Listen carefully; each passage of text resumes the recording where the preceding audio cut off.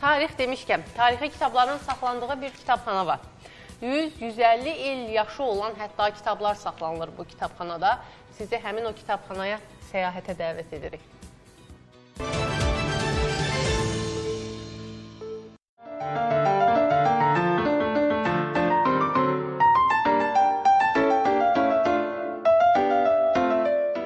Kitabxanaya daxil olduqda tarixin qoxusunu duymaq mümkündür. Söhbət Əqli Mülkiyyət Agentliyinin tabeliyində olan Respublika Elmi Texniki Kitabxanasından gedir. Elmi Texniki Kitabxananın qızıl fondunda 10 minə yaxın kitab var. Bu fondun əsas hissəsi neftlə bağlıdır. Əksər kitablar Azərbaycan neftinə investisiya qoymaq istəyən xarici sahibkarlar tərəfindən gətirilib. Bakı kəndlərində Balıxanı, Bibi Heybət, Suraxanı, Qala və digər kəndlərində neftin hasilatı, quyuların sayından tutmuş, nə qədər neft əldə olunur, nə qədər ixrac olunur və hə, neft və neftdən alınan yağlar və digər məmulatlar.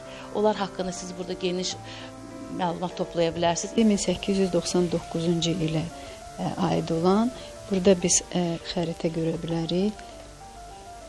Hardakı, Abşerondakı neft yataqları qeyd olunub.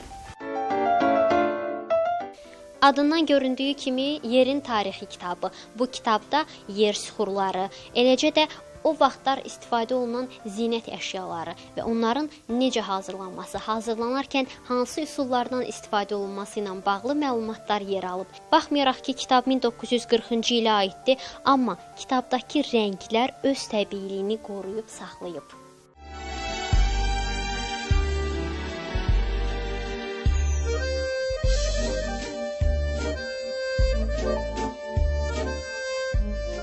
Qarşımda kimyəvi texniki vasitələrin hazırlanması üsulu ilə bağlı bir kitab var. Kitabda makiyaj vasitələrinin, ə, e, ayaqqabı kremlərinin, sabunun bişirilmə üsulları yer alıb. Hətta yəqin ki, bizim Cəbiş müəllim də o vaxt sabun bişirmək üçün elə məhz bu kitabdan istifadə eləyib. Mən sabun bişirməyəcəm.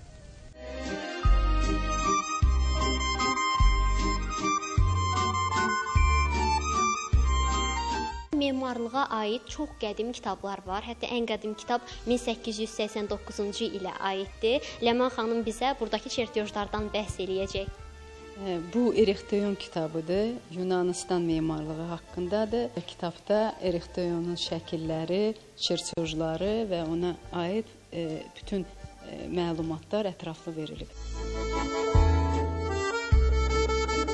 Qarşımdakı bu kitabda içməli suyun təmizlənməsi texnologiyalarından bəhs olunur.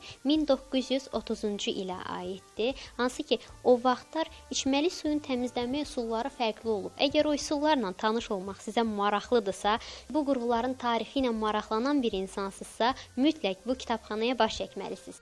Elmi tədqiqat işi aparan şəxslər, tələbələr üçün nadir tapıntı olan bu kitablar artıq elektron sayt üçün hazırlanır. Amma onları canlı-canlı görüb toxunmaq istəyirsinizsə, kitabxanaya üzv olaraq təmənnasız oxucu ola bilərsiniz.